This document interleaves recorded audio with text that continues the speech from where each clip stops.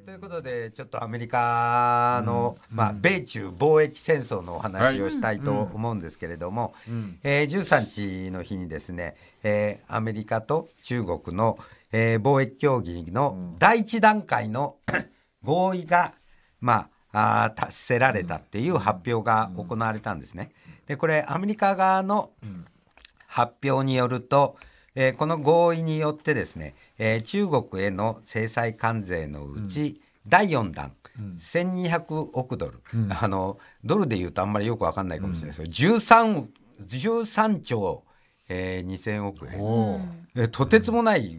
金額なんですけど、それについて、えー、関税を現在の15%から半分の7.5%にしますよ、えー、そしてですね、えー、この第4弾については積み残しまだ未発動分があったんです。でこうスマートフォンとかにかける予定の、えー、この第4弾の積み残しの発動も見送るということに、なってですね、うん、えー、これマーケットはこれで米中貿易戦争が終結に向かうんではないかっていうことで、うん、まあ、株も上がね、株も上がり、うん、皆さん喜んでいるんですけれども、はい、私はですね、えーそんなことにはならないと思ってます。これはトランプ大統領がもうあと1年を切った、うん、えー、アメリカ大統領選挙に向けての休戦協定を言っただけなんだと思うんです。でなんでかっていうとね、あのこれ細かい内容は報道されてないんですけれども、今回の合意っていうのは、農産品食料品知的財産権技術移転金融サービス為替貿易拡大紛争処理など、9項目にわたって幅広い合意がなされたっていうことになっているんですが、うん、もしそんな全面的な合意がなされたんだったら、うん。うん、なんで制裁関税を第4弾の、うん、えー、そして、えー、関税を撤廃するんじゃなくて、うん、えー、半分にするっていう、うん、しょぼい制裁解除になっているのかっていうのの説明がつかないわけですよ。うん、えー、しかもですね、えー、今回の合意ではその制裁関税っていうのは昨年の7月8月9月と第1弾2弾3弾かけたんですね。こっちの方が圧倒的に大きいんです。2500億ドル、27兆5000億円分の、えー、中国製品にアメリカは25%の制裁関税をかけてるんですけど、そっちはそのままなんですね、このまんまだっていうふうに言っているんです。でどうもいろいろ見ていると、今回の交渉はトランプ大統領が大統領選挙を睨んで、うん、えー、選挙のために、農産物をいっぱい買えと。米国産の農産物をいっぱい買えたら、えー、関税下げてやるぞっていう交渉が行われていた、うん、つまり本質的なところの交渉ではなくって、うん、そのこのアメリカの農家っていうのは、うん、トランプ大統領の大きな支持基盤なんですよ。でここにちょっと餌をまこうっていうので、うん、えー、生産関税を選挙の道具として使ったんじゃないかっていうふうに私は思います。でこれトランプ大統領は何てアピールしてきたかっていうとですね、うん、中国はアメリカから年間500億ドル、うん、5兆5,000億円も、うん、えー、農産物を買うっていう約束をしたんだって堂々と宣言しているんですが、一方中国は何て言ってるかっていうと米国産農産物の輸入拡大には合意したって言ってるんですけれども、500億ドルなんていう金額を約束した覚えはない。うん、でこれね私はあの別にどっちの味方でもないんですけれど、うん、中国側の言い分の方が正しい気がするんです。な、うんでかっていうと、よくその米中貿易交渉では、えー、飛行機を何機買いますとかっていう約束を中国はするわけですよ。でこの飛行機みたいなあのどでかいやつだったら、政府の圧力で何機買えっていうのは中国だったらできるわけです。はい、だけどアメリカの農産物、うん、トウモロコシだの肉だの、うん、そういうのは中国でも民間の企業が仕入れるわけです。国が仕入れてるわけじゃないわけですよ。それで金額なんて約束できるはずがないわけですね。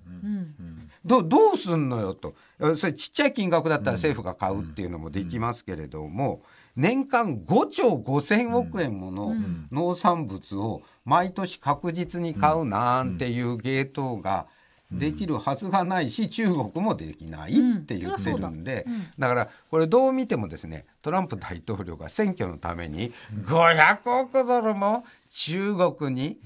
買わせたぞこれはビッグディールだと俺の成果だって叫んでいるっていうのが、でもまだそんな実績も全然ないし、はい、実現するとも全く思えないけれども、ね、えそれでなんとかこの大統領選挙をそのしのごうっていう戦略なんだと思うんです。うん、それでねこの、えー、第4弾の未実施分、えー、スマートフォンへの課税、はい、これも見送ったのは実は中国には恩を着せてるんですけど実はトランプ大統領への批判っていうのもこの部分については国民からすごく大きくてですね、な、うん。でかっていうとここに25%関税をかけるとアメリカ人が使ってる iPhone の値段が25%上がっちゃうわけですよ。うん。うん、ね、これね、うん、あの iPhone って高いんですよ。あの下手すると10万円近くして、はい、それが25%も上がったら、これ選挙の時に「わざけんじゃねえぞ」って思うアメリカ国民がいっぱい出てきて、当然なわけです。だからあの全然理屈でも何でもなくってトランプ大統領が考えているのは、もう選挙のことしかないと、あと4年やるぞっていうのしか頭にないんじゃないかなっていう。えー、そういうことなのかね。あの何がそんなにいいんだかわかんないんですけど、うん。うん、あの大統領の椅子っていうのは一旦座るとですね、もうずっと手放したくないぐらい居心地がいいみたいなんですよね。私は座ったことがないのでよくわかんないんですけど、まあ、何人かしか座ったことないですからね。あの来年の投票まで、うん、あの成果を小出しにしたりとか、圧力かけて、はい、あの強い大統領像を見せたりとかっていうのをこうなんとなくいい感じでやってって関心とその自分に対する支持を取り付けながら進めていこうっていう考えっていうことですか、はい、でねその、最近北朝鮮との間の動きが停滞しているのもどうもトランプ大統領の分析で、うん、北朝鮮は票にならないっていうふうに見切ったんじゃないかっていう説もあってですね。アメリカ人にとって関心が薄いんだ。はい、あのこれ、うん、えー、日本にとっては大問題なんですけれども、うん、あのアメリカにとっては、まあ、大陸弾大陸間弾道ミサイルさえ撃たれなければ、うん、えー、別にどうなったって知ったこっちゃねえよあんな小国っていうのが普通のアメリカ人のその感覚なんですよね。日本と韓国でやってよと。あででもね、あのアメリカの大統領なんだから、あの世界で一番強い権力者なんだから、世界のことを考えなきゃいけないのに あのトランプ大統領はもう選挙のことしか考えなくてあの環境問題に関しても環境問題に関することはひどいですね。あのスウェーデンのあのお嬢様がですねグレタ・トゥンベリさんですね。あのあのあの小娘がわけのわからないことを言ってるみたいにして、うん、もう完全無視であの自分ところが勝手にパリ協定離脱して、うん、えー、バンバン二酸化炭素出しているっていうことに関しては、うん、何の反省もないんですよ。で私はもうこの米中貿易戦争をはじめとする世界の問題というのはこのトランプ大統領がえいなくならないと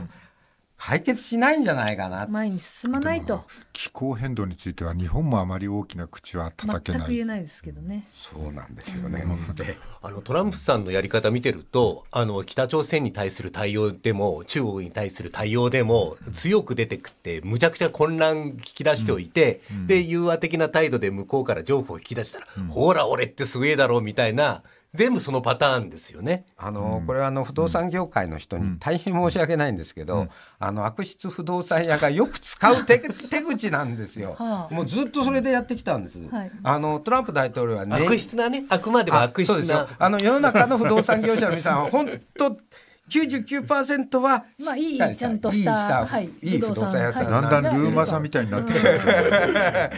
もうトランプ大統領はネゴシエーションディールだと。ネゴシエーションっていうのは本来は交渉なんですけど、トランプ大統領の場合はぐちゃぐちゃにしとる、えーで最後にちょっと一つだけ本当に勝負の質問で申し訳ないんだけど、はい。関税かけるじゃん。はい。かけた関税ってどこに金が入るの？えー財政収入になるんです。だ例えばアメリカの中国から来るものにアメリカが関税かけたら、はい。その関税分は財政収入になるの。はい。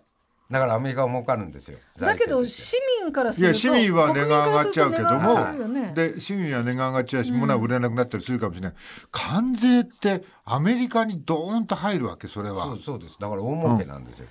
あともう一つはあれでしょ？国内企業にのものを買わせるためっていうこともありますよね。そうそうです。でそれで補助金を出せば、ますます選挙が有利になるんですよ。でもことなんだね。な国民としたらいいことあんまないですよね一般の。いやいやだからもうアメリカ国民頑張って来年、はい。はい。本当ですね。はい。ありがとうございました。